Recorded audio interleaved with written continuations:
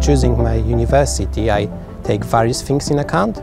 First of all, at that time, the uh, Medical University of Gdańsk was one of the leading universities in Poland in medical science, also with very good scientific quality of the research and some well-known scientists.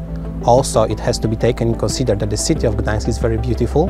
Currently, we are in Park Oliwski, which is one of my favorite outdoor places in Gdańsk, mainly because beautiful nature we can experience here. Uh, it's very good place to just take a walk or relax. I always wanted to be scientist. I believe the main interesting thing in doing science is that you can ask questions and find the answer by yourselves. And in my branch of science, you also deal with uh, uh, problems that are involving humans. So you can hopefully one day uh, increase somebody's quality of life. The scientific idea is to find a better cure for inflammatory bowel diseases. In Europe, roughly 2.4 million people suffer from this disease, and unfortunately, this type of diseases severely decrease, decrease one quality of life.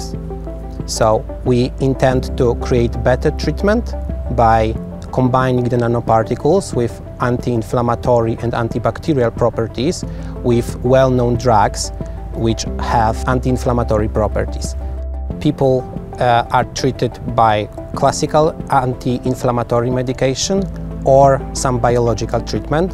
However, it has to be noted that those treatments cannot completely treat the disease but only alleviate the symptoms.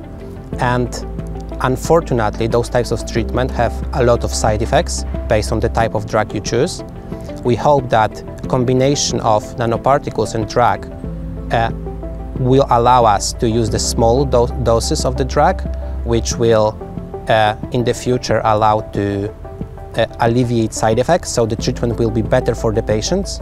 And um, from the scientific point of view, the synergistic effect of the drug and nanoparticles will be firstly described by our team. And moreover, typically nanoparticles as drug carriers are studied in the cancer, so there is not much research in other diseases which are equally important. Currently we are in the Department of Pharmaceutical Pathophysiology in the Medical University of Gdańsk, where I and all of the team of Professor Iwona Inkielewicz-Stępniak do everyday lab work. It's what I like the most about science, that you work with a bunch of people who are experts in their field of science. Obviously there is Professor Inkielewicz Stępniak, who is supervisor of the project, we have a great team of chemists from University of Warsaw, which we collaborate with.